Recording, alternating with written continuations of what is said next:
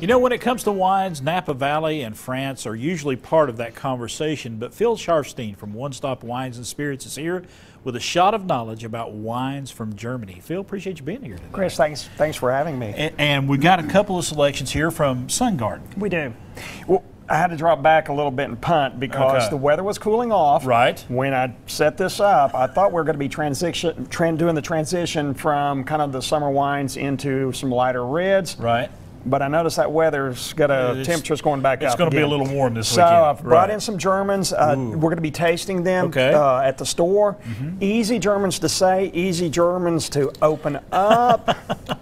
so we- easy- so this is, easy this all the way easy around. all the way around. You know, Okay. Germans can be very, uh, very technical with their wording. It's hard for us as an American to figure out what the heck we're drinking with some with some Spätlese, Auslese. So this is going to be um, two easy ones. Right. I love the colors of the bottle. Right. They're beautiful bottles. I love how we can open them. Uh-huh.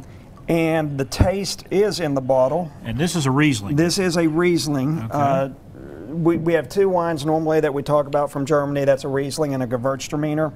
Mm. I love this. Amy loves this one. I hope you will too. If you're going to have to drink at 10 in the morning, this is the why way to not go. drink a Riesling? Okay. Enjoy drink something you enjoy, Hey, and I would enjoy that. I thought you would. I Really crisp. Mm-hmm. Yes, uh, nice little acidity, but not overwhelming. Still, that peach, that fruit comes right off of it. Uh, great aroma. Great aroma. Mm-hmm. I, I'm, I'm, think this is going to really show. Um, I think we're going to have a lot of people really enjoy this at the store. And this is the a first for me. This is the first German wine I've ever had. Oh, so well, well, really, congratulations really, on- on bringing first out the one- hay. Thank you, We- we very nice. Thank one. you for bringing this one. The second Mm. one is a little tricky with its name. It's a Gewürztraminer. Most of the time, You've got that down. I do not. That's okay. Most of the time, we actually around the store or people say, "Just give me a Gewürz." A Gewürz. A Gewürz. That's they just term I it could do that. Gewürz, and I thought you could. Yeah, so I'm going to make it easy once again. And I'm not going to pour. I've doubled you up on a Riesling. Well, that's we're okay. We're going to go this We'll- we'll- way, and we'll- we're going to do There we go. There we go. I'll save that one for later. mm-hmm. So A little blend. This one's going to pull out a little. different. Yeah, you have a little spicy notes, um, allspice, nutmeg coming from a from a Gewürz. Great with Thai food, Asian dishes.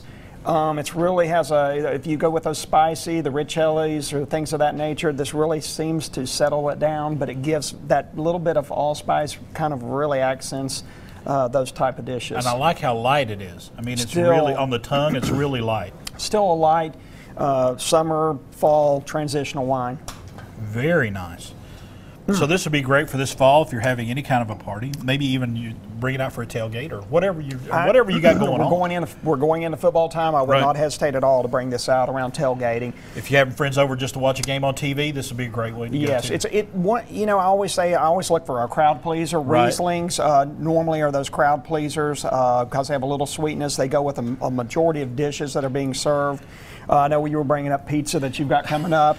You ask about it. I know the Yes, guys over at Jiggy Ray's are happy to hear. This pairs will- well. This I'm going to tell well. you, throw a Riesling and it, you're going to be fine with it. So I, I always will say, Gewürztraminer is a little different. It's Right. not for everyone, but that's why we're tasting it at the store. Right. Um, if, if it's something you like, then then that's another addition that you can add uh, to your taste. If you don't, then fall back on this Riesling that's been a staple for Germany for many, many, many years. And you want to encourage folks to, to broaden their horizons when it comes to wines. You just don't want to stay. You get you find what you like, but then kind of experiment from. I want them to experiment, and that's Right. why we have these two are going to be we're tasting through today, through the weekend. I think I've got three to four other wines at the store, some other reds we're trying. And don't forget Ballast Point beer we have on tap. Right. That was a tap takeover and a studio brew. So if you're into the beers, come on, we'll give you a try of those as well. You've got them covered. Yes. All right, Phil. Appreciate you, buddy. Thank you again. As always, a, a great shot of knowledge about German wines. It is One Stop Wines and Spirits there, West State of Franklin Road in Johnson City. Give them a call. Check out their website as well because they have a fantastic website with plenty of specials on there and let you know what's going on in the store. But in just a moment, we're going to be heading over to the kitchen. Maybe I'll take a glass of this wine with me over there because it pairs well with that pizza that they're getting ready to make. Jiggy Ray's right there at downtown Elizabethton.